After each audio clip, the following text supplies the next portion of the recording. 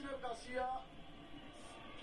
Όσα σας την ε, παγιά ο Μπλουμ το άλμα θα στείλει την μπάλα στο δοκάρι και στη συνέχεια στα δίκτυα της εστίας του Μελίσσα. Και ο διακητές λίστρισε, έχασε τον ε, Μπλουμ και από εκεί και πέρα ήταν εύκολο. Ο Φόρη ήταν ο οποίος λίστρισε